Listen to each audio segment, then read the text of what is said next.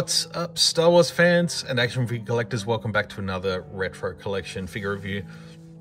Now, this one is going to be a hot ticket item, I think. Um, you know, Boba Fett coming back into sort of a vintage style, a new take on Boba Fett.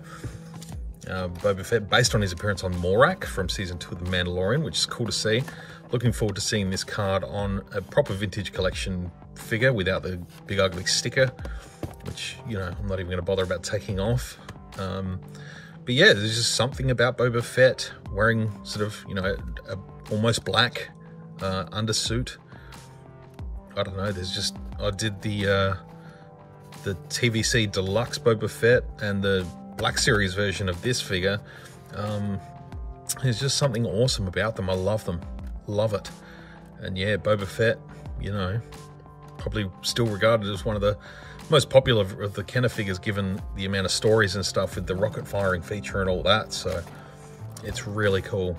Um, but yeah, looking forward to getting the regular TVC version of this Boba Fett. And he is on the way, so we'll be seeing that this year, I think. So get rid of the card back, crack the figure out.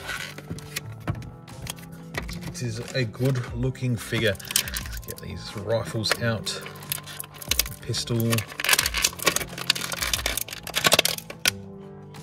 And let's take a look. Zoom in a little bit. We'll get a look at his weapons. So there is the first one, obviously. His uh, signature rifle, which is cool. It's nice to sort of see that in the Kenner style. And blaster pistol, which is nice too.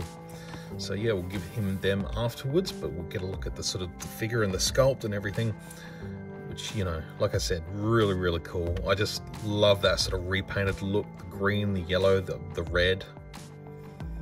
There's his jetpack. I love that they've sort of stuck with a very similar style to the uh, vintage Boba Fett, even the missile, which is sort of, looks like it's its own piece. It's been glued in. Nice homage there. You know, the flat piece there where the old L or J slot would have been for the flick missile. But yeah, definitely sort of modernized it a little bit just to give it that sort of classic jetpack feel, that sort of more, more modern. Um, slightly more realistic, I suppose, is the better term for it. But yeah, I, I, I, dig this figure. I'm looking forward to getting a shot of him standing next to the uh, the retro uh, Empire version came out a couple of years back.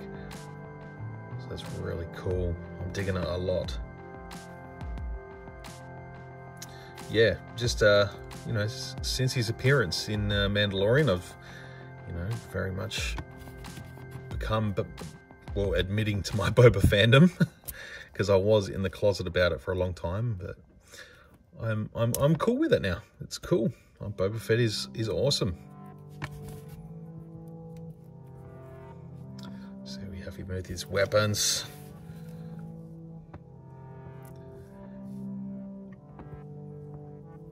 And sort of the green, the red, and the black on the helmet. Looks good. For Mando, it'd be cool to get a bit of a back-to-back -back shot. Even though it's not really his Book of Boba armor, but still cool nonetheless.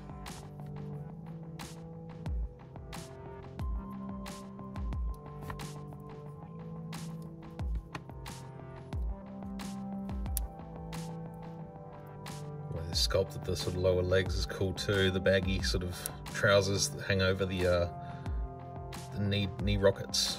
That's awesome.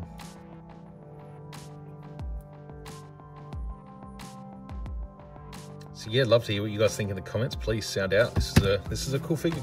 Figure, I reckon. I'm I'm digging it.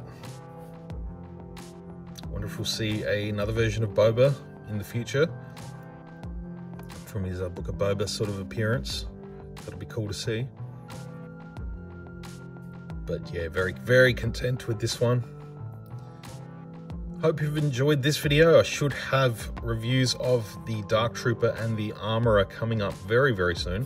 The time of recording this, I haven't picked them up yet, but uh, hopefully next next few days I'll have those figures and I'll be able to review them too, finishing up the finishing up the wave that I was never going to buy. So thank you very much for watching. Hope you've enjoyed it, and uh, we'll see you on the next video. Till then, may the force be with you always.